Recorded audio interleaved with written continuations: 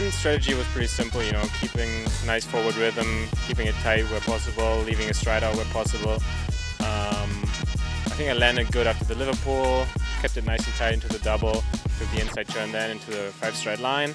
Um, tried to keep it tight again into the last line and left one out uh, on the finish line. I have used these classes, I think, for the last three weeks as warm-up classes, and it's not been great for me. So I was just like, might as well have a shot at it, go for it. Um, and I think now we're set for the weekend. We'll keep the keep the pace up like that.